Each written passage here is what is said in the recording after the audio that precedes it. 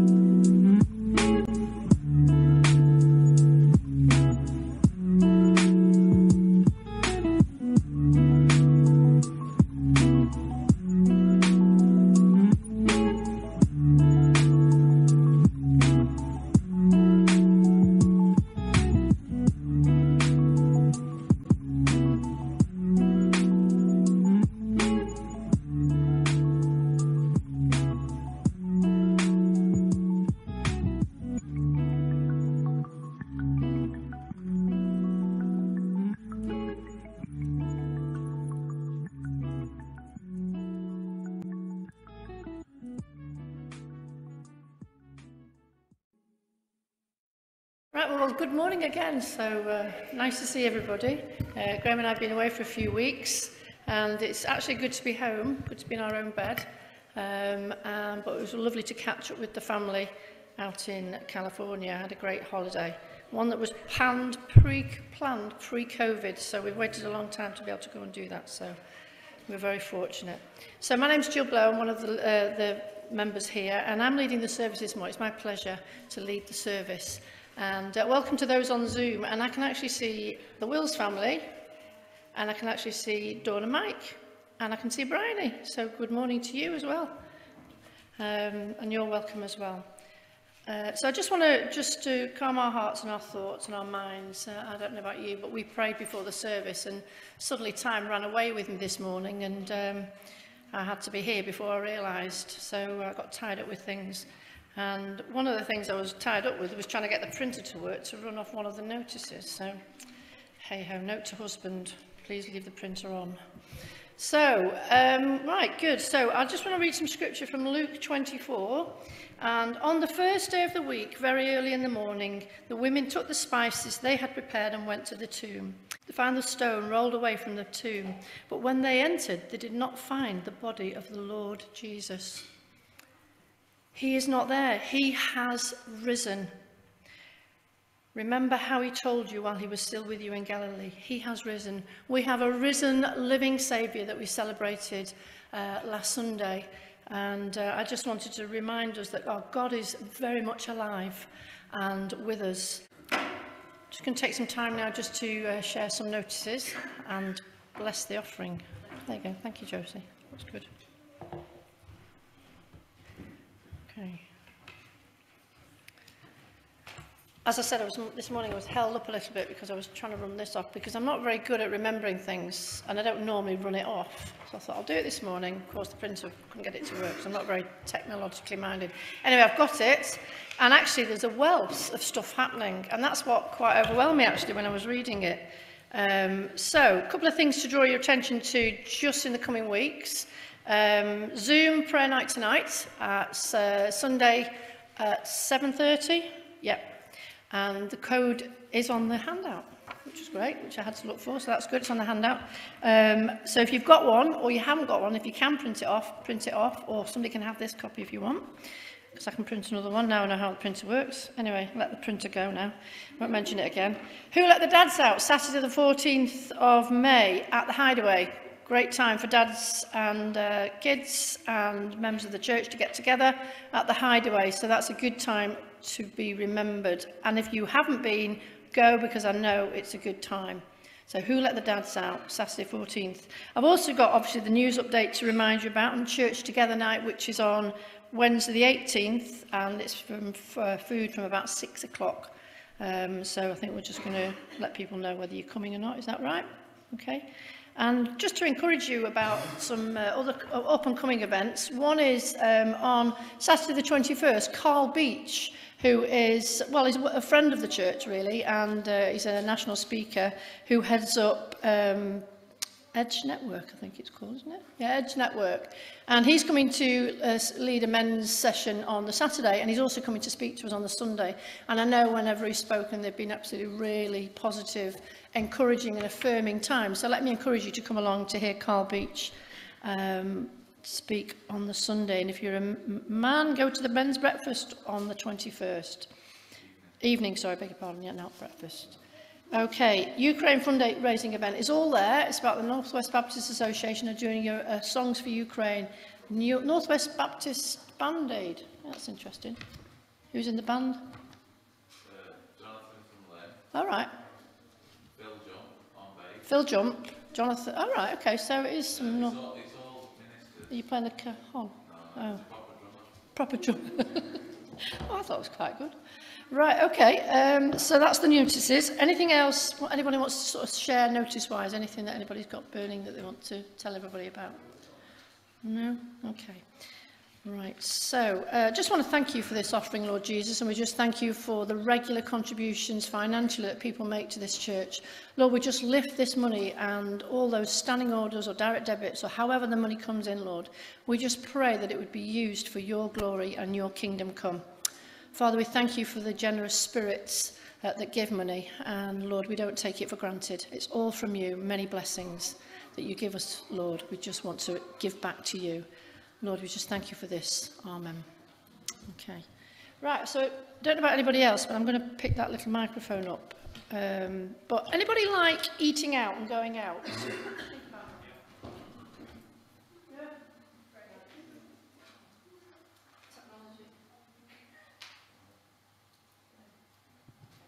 Does anybody else like going out? Yeah, good. Where do you like going out? Nice restaurant. Okay, good. So anybody, got anybody that would, they would particularly like to visit or house to visit in the world? If you could visit anywhere, whose house would you like to go to? And have a meal or just meet up with them at their house? And you think, oh, come on, I thought you was going to rely on you, you lot. Mr? Go on. The president's house in America. Okay, well, is that because you're going to America soon, but you're nowhere near the house, so you're not going to get an invite, I'm telling you now. However, why would you want to go to the president's house? To meet him. To meet him, to, to, to spend time with him, get to know him. Yeah, good one. Anybody else? Any of the adults? Come on, no, come on, Joseph's granddaughter at the back. Come on. Who would you like to go and see or be with? Kim, Ka- Kim Kardashian. Kim Kardashian now. Why would you want to go to her house? Um, because she has kids. You get to know the children, all the members of the family, and just spend some time in a very wealth and opulent surrounding, maybe. Yeah, good. Okay, anybody else? Come on. Simon Cowell's house. Simon Cowell. Now, I know I've got an inkling, as, I don't know you very well, but I've got an inkling you might be a reason why. Why would you want to meet Simon Cowell and go to his house? Because I think he's fit. Oops. I'd just, uh, I'd just sing in front of him just to see what he thought. Brilliant, and that's what I was thinking as well. That would be a fantastic opportunity, wouldn't it? So he would see what uh, what uh, strengths you've got in, in terms of vocal. Anybody else? Oh, sorry. Mary Berry's house, because obviously she makes the best cakes. Mary Berry. But don't you bake? A, a little bit. from my husband. So you'd like to learn from Mary Berry, the expert in baking cakes. Debbie Burr's a good one as well, so you know, can say hello as well.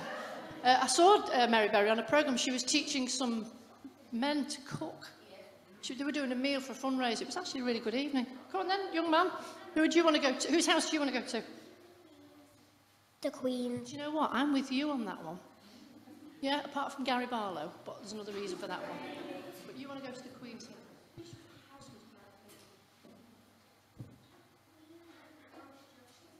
Oh, right. So the one's in London. So the Buckingham Palace and Boris Johnson's house at number 10.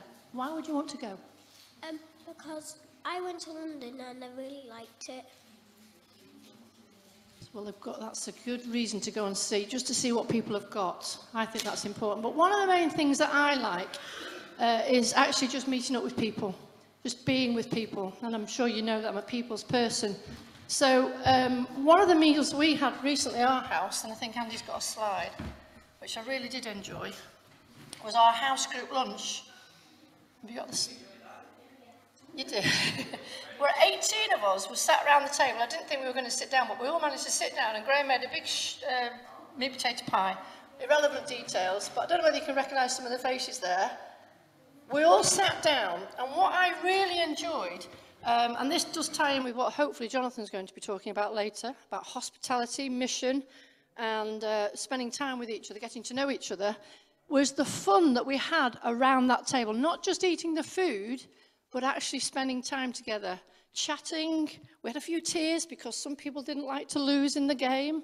Yeah, but that was okay because we encouraged them to rejoin and join in again. Pardon? That was Irene. yeah. It was it? okay. And, um, you know, we encouraged each other. We laughed. We cried. Um, we got to know each other and we were just having fun together. But I got to know people on a different level because I'd not met them and, and managed to meet Melissa and chat with Melissa. I'd never chatted with Melissa, so it was a good way of getting to know people. It doesn't have to be a meal, obviously. It could be just a cup of tea or just a pop-in visit. Um, it's just that I like cooking, and so does Graham, so we managed to do a meal. It was great. So really, you know, Jesus went to quite a few meals, and he also blessed people. He went to the wedding in Cana where he blessed that ceremony because they ran out of uh, juice to drink at the wedding. Yeah? Turned the water into wine. He went to Zacchaeus' house. He went to somebody's house that actually not a lot of people wanted to go to. Yeah? But he went and spent some time with him and had tea with him. So just let me encourage you a little bit about hospitality. We share our lives with people in order to get to know them, but we share our lives in order to share Christ with them as well. So I just wanted to encourage you in that area as, uh, as we go into our preach later. Can I just pray before the children go? Okay.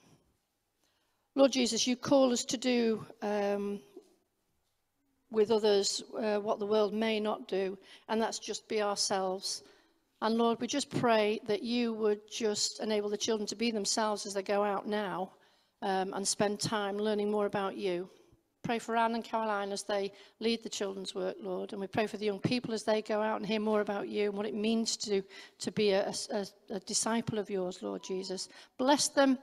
And just enable them to be relaxed in, uh, in, in what they're doing this morning. Lord, we just thank you for them and encourage us all in that area of mission and hospitality and welcoming and opening ourselves up to share more about you in the everyday. Amen. Okay, I think the children are going to go. Okay, Jonathan's going to come and preach to us now, but I just want to pray with you, Jonathan, before we do, if that's okay. I'm sure it would be. Lord Jesus, we just thank you for this man, this man of God, and we just thank you for all that he does in your name. And Lord Jesus, now we just pray that your spirit would bless him and empower him with the words to share this morning. Lord Jesus, just be with him now and bring your word. Amen. Amen. Thank you. Let's just uh, put that one off. Um, just going to put my phone here just in case there's any tech issues, but hopefully all will be well. So, hi everyone, hope you're okay. Okay. Uh, this morning we're starting our new preach series, which is always an exciting moment, isn't it? And uh, thank you, Jill. And the series is ironically called did somebody say, just preach? It's a slight play on words on a well known food delivery company. Uh, but we're exploring the big idea that forming disciples, that growing as disciples, doesn't only happen through preaching on a Sunday service, although we do believe that preaching is part of that, but that this command to make disciples is uh, worked out through building Christ-centered community, through hospitality, through eating and sharing food together. And this might not be a particularly new idea, but if I was coming with particularly new ideas, they'd probably be heresy, wouldn't they?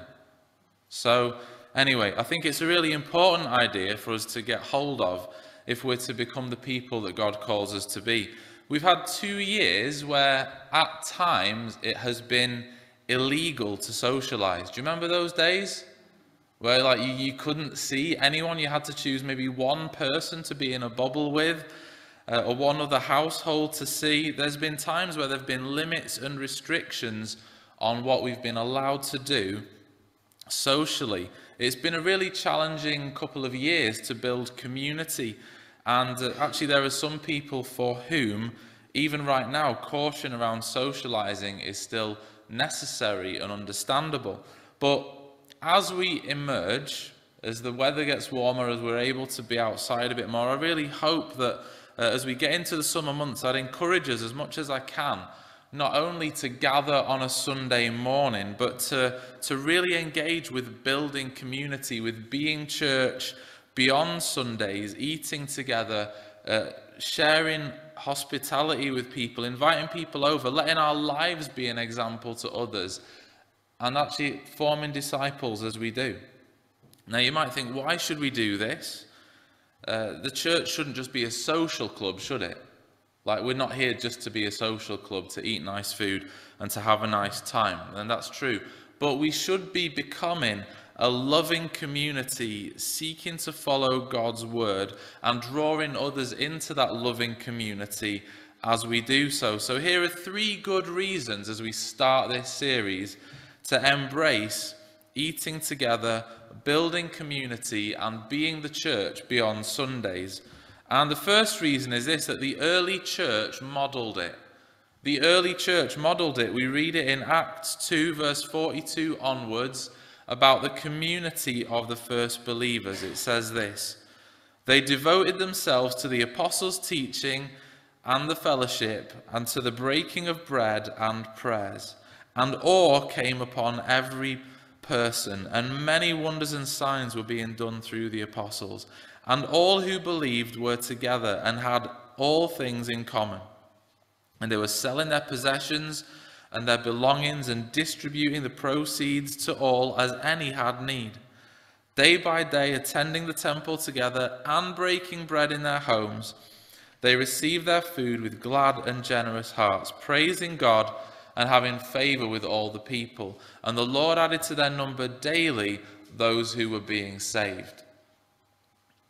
Now, that, that passage could be a preach in its own right, really, about the, the early Christian community. But we're not going to go there today. I, I do want to zoom in on the community aspect a little bit, the food aspect a little bit. We've read twice there that they were devoted to breaking bread.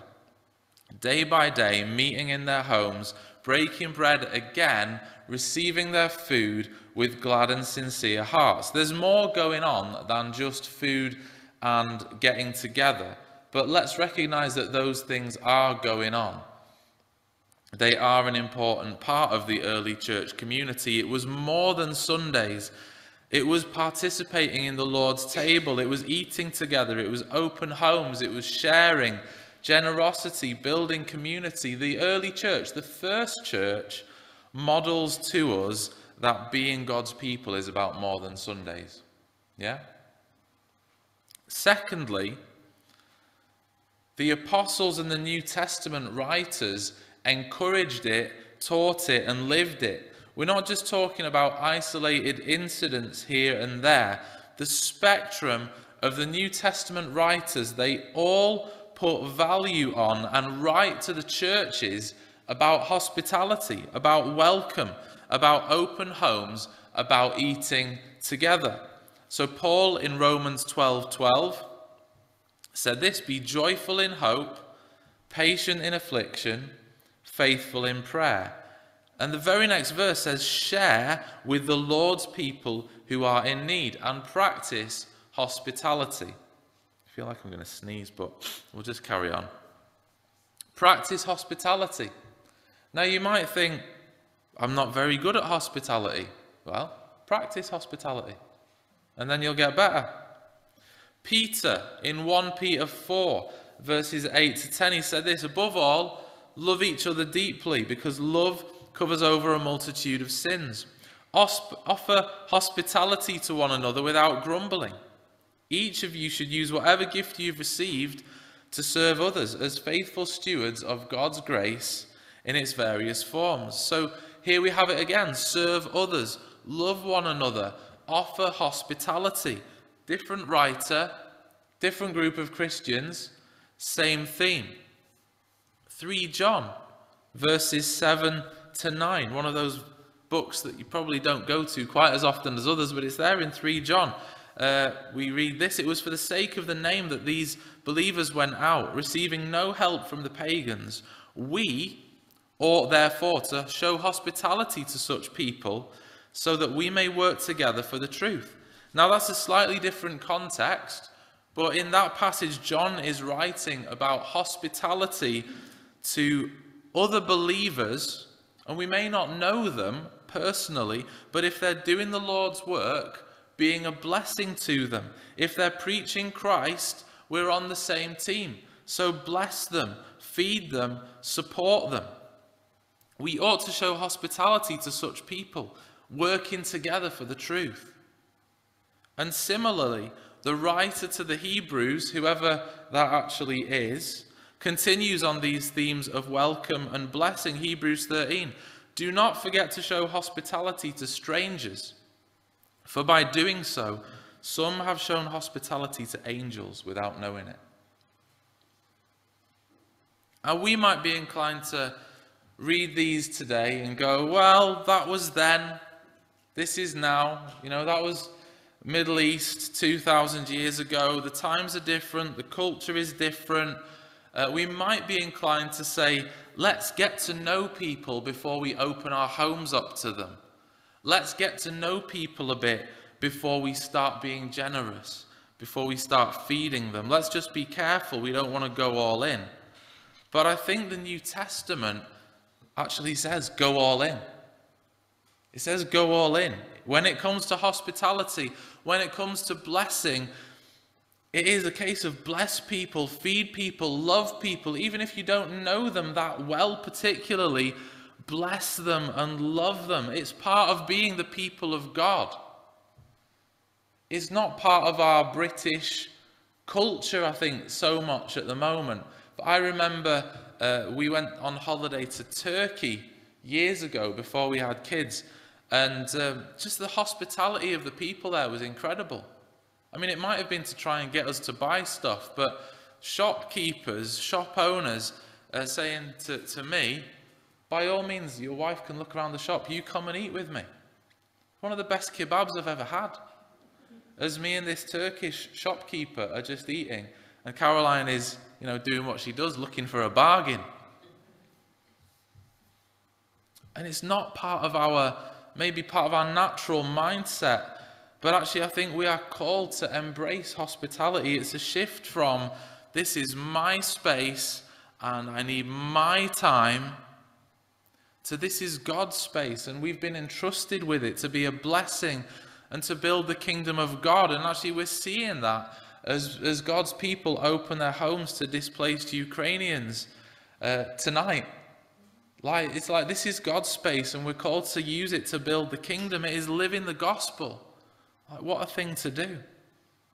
Last verse uh, from these New Testament writers, one of my favorite verses in the New Testament. Paul this time to the church in Thessalonica, 1 Thessalonians 2, verse 8 onwards, says this Because we loved you so much, we were delighted to share with you not only the gospel of God, but our very lives as well. Like we shared the gospel, we preached the gospel, but we shared our lives as well. Imagine if Paul preached the gospel but he kept people at arm's length while he did so. And the Thessalonians are going, Well, we've, we've heard about Jesus and how he changes your life, but we can't really see that because we don't really know him. You know, Paul preaches a good preach, but we don't know how he's been changed because he he's never with us. We don't spend time. Paul and his buddies, they shared their very lives with the church. Because forming disciples, becoming communities of disciples, it's caught as well as taught. I mean, it would be wonderful if it was all just taught, wouldn't it? Like, I'll just, you know, whoever's preaching can preach, and everyone can just go, that was a great preach, we'll put it all into action. But actually, it's caught as well with lives shared. We, we catch it from other people. We see how Jesus has changed their lives. We hear it in the stories they share, in the testimonies they bring. And, uh, and we catch something of it as we follow their example. That's why Paul was able to say, Imitate me as I imitate Christ. because he shared his life, a life that had been transformed by the gospel of Jesus Christ. I mean, could, you know, could we say that? It's a scary thought, isn't it? Imitate me as I imitate Christ. You know, I really hope there aren't any of us who would be saying, I, I believe in Christ, but whatever you do, don't follow my example because it's rubbish. You know, Paul's able to say, I'm, I'm pursuing a life after Jesus, so, so, so follow my lead. We know we're saved by grace, we're living under Christ, pursuing a life of holiness, purity, obedience, aren't we? And when people see it, when they see a faith lived out, they, they catch something of it. So, why should we build community? Why should we eat together? Why should we invite people over? Firstly, the early church did it. Secondly, the New Testament writers and the apostles encourage it, teach it, and live it. And then, thirdly, perhaps the greatest reason is that Jesus, the one that we follow, our Lord and Savior, modeled it to us. And this sets us up for where we're going in the next sort of 10 Sundays or so, although there will be the odd random Sunday in there as well. We are mostly going to be in Luke's Gospel, and we're going to be exploring Jesus' meals with a mission, how Jesus' eating habits led to lives being transformed, disciples being made, those who were far away being drawn in, and eternities being transformed. That's what it's about, isn't it? Yes. I think that what we see in Luke's gospel is that as lives and homes are opened up, hearts are opened up, and then lives are changed, eternities are changed. According to one writer, as much as 20% of Luke's gospel is based around meals of Jesus eating with these people or sharing stories about this and that. And, you know, we see it's not just about being a social club. It is about making disciples, calling people to follow Jesus, sharing Jesus with others as we share our lives and as food is shared with others. We know it, don't we? But what we see in Luke's gospel is that community is, is built not in rows but around tables. Sharing food, sharing life, looking each other in the eye instead of looking at the back of people's heads. You know, the ability to say, Tell us your story. How are you doing? What's going on in life? How's God at work in your life? We're going to see a variety of meals that Jesus engages in, attends, is invited to, and a number of meals that he teaches about. Meals in parables about the kingdom and, and how the kingdom is like this meal or the kingdom is like that. We're going to explore them all. And my hope and my prayer is that we would want to become those people we would want to become those people of open homes, open hearts, open hands, welcome, hospitality, generosity, being formed into the likeness of Jesus as we follow him, and seeing others formed into his likeness as we share Jesus with them. As we share not only the gospel, but our very lives that have been changed by Jesus. Meals on a mission, uh, meals with a mission to the glory of God that's where we're going, and we can all get involved. We can all get involved. You know, it doesn't have to be Michelin star food. But if you do get invited to the Burrs, say yes. It'll bless you. But, you know, it, it could be a pot noodle. It could be a pot noodle. It could be a kebab. It could be nuggets and chips. Yeah, we can. I'm not trying to put any pressure on you, Debbie, right? You could. You can do pot noodles as well if you want. You know, but we can all play our part. We can all play our part in becoming that community. We all can, can't we? So that's just the introduction. But I'm not going to talk for too long, so don't worry. We're going to look really briefly today at Luke 24. Uh, we, we left off last week with the resurrection appearances of Jesus. And we're in another resurrection appearance of Jesus, one that ends with a meal. So we're in Luke uh, 24, starting at verse 13. It's the road to Emmaus. Now, that same day, two of the disciples were going to a village called Emmaus, about seven miles from Jerusalem. They were talking with each other about everything that had happened. As they talked and discussed these things, with each other, Jesus himself came up and walked along with them, but they were kept from recognizing him. He asked them, What are you discussing together as you walk along? They stood still, their faces downcast. One of them, named Cleopas, asked him, Are you the only one visiting Jerusalem who does not know the things that have happened there in these days? What things? He asked. About Jesus of Nazareth, they replied.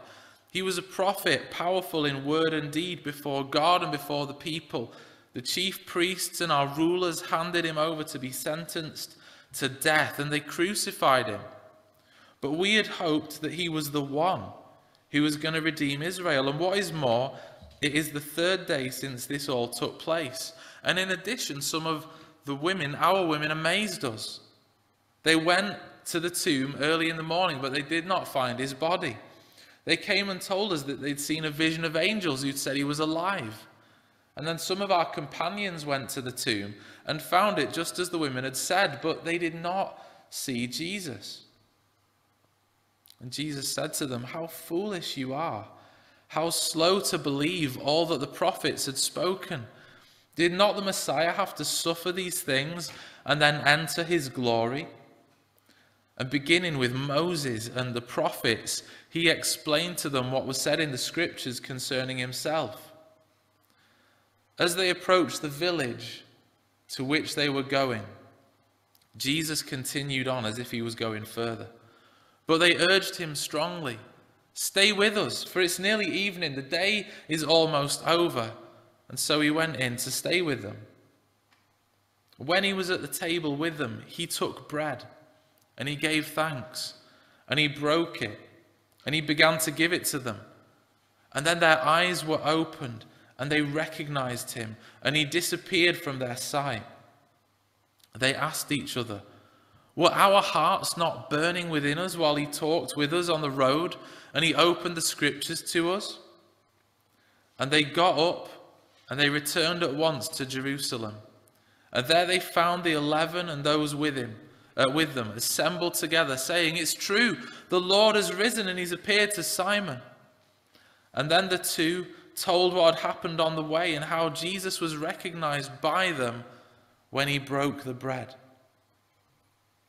So I promise I will keep it brief because we have already looked at the example of the early church. We've already looked at the teaching of the New Testament writers. And I've got just two things coming out of this passage as we start this, these, these themes this morning.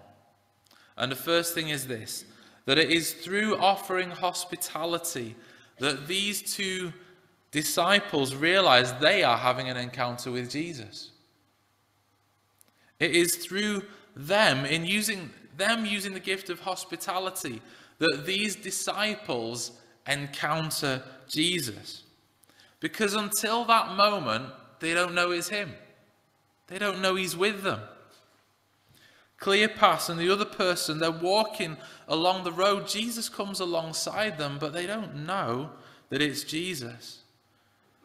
And Jesus starts explaining the Old Testament to them. I, I would have loved to have been a fly on the wall of that conversation, even though there wasn't a wall. But they, they don't know that it's Jesus. But, you know, the, the night's drawing in, it's getting a bit darker. Uh, they are coming towards their destination. Hospitality is part of their life, it's part of who they are, part of their culture. So Jesus is carrying on to wherever he was going. And the gift of hospitality rises up within these two disciples. You know, Jesus going, Look, it's been great chatting to you. All the best. God bless. And they just said, Look, why, why don't you stay with us? Why don't you eat with us? Why don't you stay here? If they let him walk on, the moment is gone, isn't it? If the disciples let Jesus walk on, they don't know it was him. You know, they, they spend the evening, if they let him walk on, Cleopas and his friend spend the evening going, that was a really insightful chat about the Old Testament, wasn't it? But it is through their hospitality that they see Jesus. Now, obviously, for them, Jesus was physically present with them. They just hadn't seen it yet. I'm not trying to stretch the point completely here, but I truly believe that as we step out in hospitality, welcoming the stranger, opening our homes, sharing our food with others, we too will encounter something of the presence of Jesus. Because where two or three or more are gathered in his name, he is there also. He is with us as we open our homes, as we sit at the table. Hospitality is a mission gift and it is an opportunity to experience the Lord's presence as we welcome, bless, serve, and eat with others. I truly believe that. These moments are acts of worship to the Lord. You know, in, uh, in Matthew's Gospel, we're not going to go there completely today, but Jesus talks about when you did these things for the least of these, you did it for me. These are acts of worship. These are moments where, as we gather with others, Jesus is present with us by his Spirit. There are people who are part of the church now, and their journey to faith started with a meal. Whether that was an alpha meal, or a meal around a table in a home, or a curry night, or whatever it might be. As we open our homes and our lives, as we bless and serve others, we meet with Jesus. He's present with us. We worship Jesus through these things. Have you ever had those moments where you've had people over and you've chatted or you know whatever whatever and and afterwards you go wasn't God with us? Like wasn't God with us? Wasn't that a great couldn't you feel that the Lord was with us as we chatted about this or as we spoke about that or as I got to share about this or as we got to pray about that? If we had those moments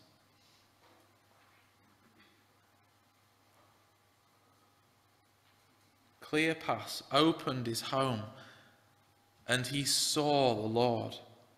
And when we offer hospitality, as we open our homes, as we open our table, we too can encounter the Lord. It's not just them, we meet with the Lord. You know, we might think, oh, if, if I open my home, if we, we feed these people, we're going to bless them. They, they might meet with God, but we meet with God too. We meet with God as we offer hospitality in His name. So, as we open our homes and our lives, as we bless and serve others, we meet with Jesus. But the second thing coming out of this passage uh, in Luke is that it is in the breaking of bread that Jesus is revealed. What's interesting is that in that culture, it would have been the host who might normally open the meal, might bless the food, the person whose home you were in who would welcome everybody. And Jesus has been invited in as their guest. Yet, invited in as their guest, Jesus becomes the central person in the meal. He becomes the host of the meal that he was invited to. And it is in this role and in the breaking of bread that he is revealed for who he is. He took bread, he gave thanks, he broke it, and he gave it to them. It follows the exact pattern of the Last Supper, where we have read, where we read many times while they were eating, Jesus took bread. And when he'd given thanks, he broke it and he gave it to his disciples. And suddenly, in that moment, they see Jesus for who he is. This is the Lord. This is his meal. For those of us who may be sitting on the fence, or I know those catching up another day who may be sitting on the fence, there's this model Jesus. Uh, so invite Jesus in. Invite him in, but let him become the central figure. Invite him in and let him be the one at the center. Let him be revealed for who he is the Lord, whose body was broken and whose blood was shed for you. Invite him into your life and then let him invite you to the table to receive grace and mercy and new life and eternity with him. When we invite him in, he invites us to his table. But the other thing would be this that how we are at the table can reveal something of Jesus. How we are as we eat together. It's, it's wonderful hearing about that small group social. All 18 at the table, laughing, joking, crying, fighting. Not fight, fighting. Um, but how we are at the table can reveal something of Jesus to others. We, we can break bread together. It doesn't have to be in rows on Sundays. Remember, the context of the Last Supper was a meal, it was part of a meal. In our eating together, we can remember the Lord together. We're going to do that shortly, but it's not just about the bread and the wine. In our habits, in our preferring of others, in our prayers, in our conversation, how we are as we eat can all reveal something of God's love and can, uh, can draw others to God's love. Like giving thanks for our food. Like giving thanks for our food is a really simple thing. It can be a natural part of our eating. Whoever is at the table, you know, are we those kind, you know, I'm not, trying to cause offense or anything, but, you know, might we be those Christians who go, we're going to be thankful for our food to God when it's just us, in front of people who don't know the Lord, we don't really want to, we don't want them to know. We can be thankful to God, unashamed of our thankfulness to God for all He's blessed us with. In our conversation, I think there is something really powerful about eating around the table, talking, sharing life, chatting, not just vegging out in front of the TV. I mean, full disclosure, we do have TV dinners sometimes. We have TV dinners. But if we've had a couple of TV dinners in a row, we will say, no TV dinner today. We're going to sit at the table, we're going to put the phones away, and we're going to talk and we're going to look at each other in the eye. Let's engage with the people in the room in front of us. Let's chat. How we talk, what we talk about can point others to the Lord as we eat together. There are, famous, uh, there are stories of the famous preacher Smith Wigglesworth who would stop the conversation at the table if it veered away from the Lord. You know, if it started going towards sport or the news or whatever it might be, it's like, no, we're going to talk about the Lord. I remember talking to Dan and Anna Churchman about Sunday lunch in the Romanian context. And, and Anna saying how they, they, wouldn't, they wouldn't dream of putting the TV on. They would sit and eat and talk for a few hours, and they would talk about church that day. They would talk about church that day, what they'd learned, what was interesting, uh, discuss the, the preach, ask questions of it, and you know what were the kids looking at, and all that. And it's kind of like it was just about being together and and learning about the Lord and, and following on from the service. Is there a consistency in how we are as we eat together? Do we have Christian meals with our church friends, with quiche and couscous and other things? And then do we have unchristian meals with our non believing friends? Do you know what I mean? Like, let's have a Christian meal, we'll get the church people around and we'll be on our best behaviour. And then let's get the others around and we can just really let ourselves go. Because the, the, the church aren't watching. It doesn't matter because Jesus is watching. He's with you anyway. But how we are as we eat with unbelievers can draw them to the love of Jesus. How we are around the table can draw others to the love of Jesus because we don't just share the gospel with them, but our very lives as well. Sitting down, talking about the Lord, discussing the scriptures, I'm not saying that it's always appropriate to do that. It might not be appropriate to, to do that every meal. But do you know what I mean? You know what I'm trying to say? It reminds me of these two disciples on the road, walking, talking, sharing, and the Lord coming among them to explain the scriptures to them.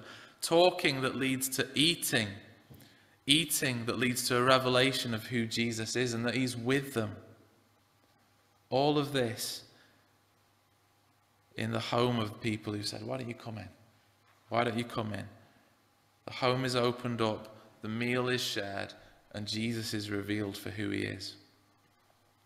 So I pray for us that we would be people who follow in the footsteps of the Acts 2 church, that we'd be people of hospitality and opening our homes and sharing food together and breaking bread together. I pray that we would embrace the teaching of the apostles around hospitality.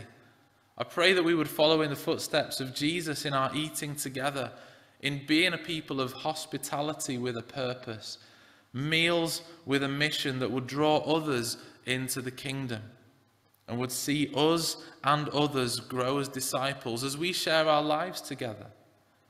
You know, when was the last time we, we had people over to eat? If it was recently, praise God, thank you, you know, feel proud and then repent of your pride. But, you know, who could, who could we eat with in the coming weeks to share what Jesus has done in our lives, to build others up as disciples, to share the faith that we have? Just think, as you offer hospitality, you will encounter the presence of God, His Spirit with you, as you offer hospitality as an act of worship, and you can introduce others to Jesus. As you give thanks for your food, as you talk, as you put others first, as you share your life, as you share how God's changed your life, I pray that we would become that community that is more than Sundays. Because we can't form disciples on Sundays, only on Sundays or only through Sundays. It's about whole lives of it. We're going to leave it there for today. As we begin to think about inviting others to our table, we're going to share communion as we're invited to the Lord's table. Just like those two disciples on the Emmaus Road, we are invited to know Jesus in the breaking of bread. N.T. Wright says this Luke intends for the readers to see that this simple meal is taking us back to the upper room, to the Last Supper, but it's also pointing us forwards to the breaking of bread, which would become the central symbolic action of Jesus' people. We're going to join with God's people all over the world this morning as we share communion, as we remember what Jesus has done for us.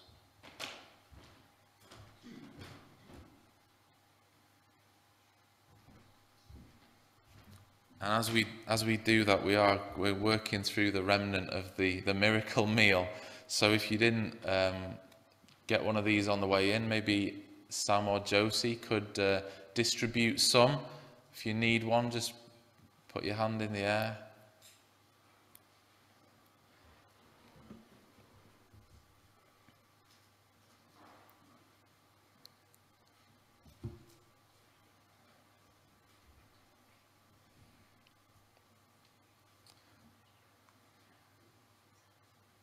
And we're going to bring ourselves before the Lord.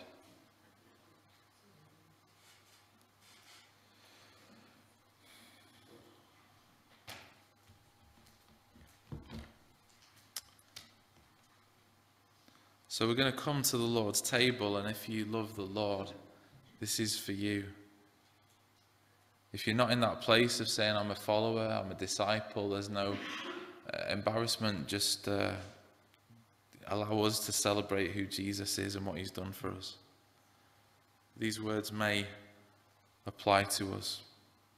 Come to this table not because you have to, but because you are invited to. Not because you're strong, but because you are weak. Come not because any goodness of your own gives you a right to come, but because you know that you need mercy and help. Come because you love the Lord a little and would like to love him more. Come, if you are fearful, to be made new in the love of God.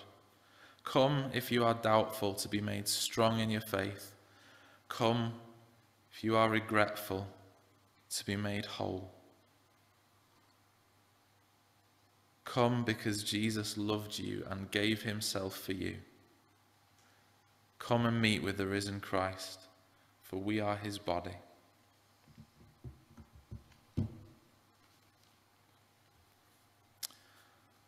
The Lord Jesus, on the night he was betrayed, he took bread, and when he'd given thanks, he broke it and said, This is my body, which is for you. Do this in remembrance of me. And in the same way, after the supper, he took the cup, saying, This cup is the new covenant in my blood. Do this whenever you drink it in remembrance of me. For whenever you eat this bread and drink this cup, you proclaim the Lord's death until he comes. So let's eat together the body of Christ broken for you.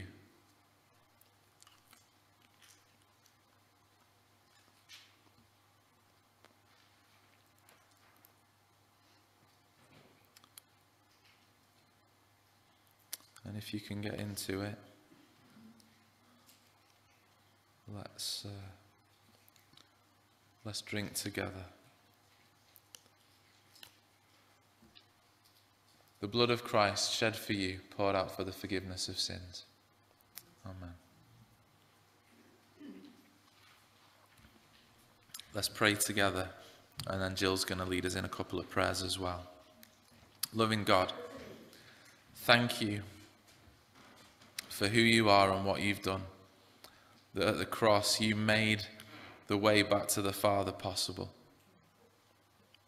And that you invited us to your table not because we were good enough, but because you are good enough. Because you want to pour out your grace on us and welcome us into your kingdom forever. Call us to be a people now playing our part in your mission and the building of your kingdom.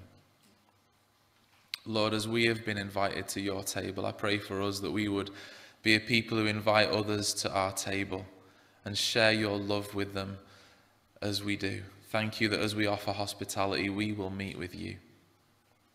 And you will be there among us as we eat together.